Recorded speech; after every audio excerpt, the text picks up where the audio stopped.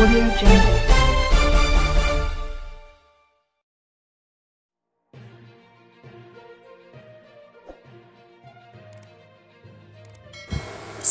sejahtera, berita hari ini dipetik dari BH Online.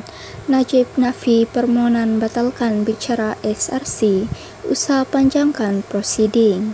Kuala Lumpur dat Seri Najib Razak menafikan sekeras-kerasnya dakwaan pihak pendakwaan bahawa permohonannya untuk mengisytiharkan perbicaraan penyelewengan dana RM42 juta SRC International sendirian berhad dihadapinya adalah terbatal dan tidak sah semata-mata bagi memanjangkan prosiding dan tujuan sampingan lain. Bekas Perdana Menteri itu turut mempersoalkan apakah tujuan sampingan dimaksudkan pendakwaan dalam afidavit belasan mereka sambil menegaskan keterangan baru berhubung kes itu yang dibawakan kepadanya bukan rekaan atau ciptaan semata-mata. Pada 7 Jun lalu memfailkan notis usul memohon Mahkamah menimbangkan supaya diadakan perbicaraan semula berikutan.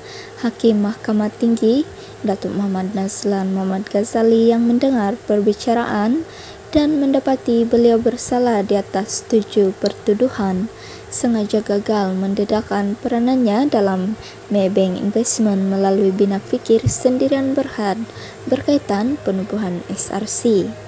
Melalui afidavit sokongan lanjutan dan jawapannya yang difailkan, Najib berkata keterangan yang dan perkara baru itu adalah relevan bagi mahkamah untuk menimbangkan isu undang-undang serius yang dibangkitkan di mana beliau turut mencabar pihak pendakwaan atau SPRM untuk memukakan afidavit daripada pegawainya yang berkaitan untuk menafikan dakwaan khusus itu.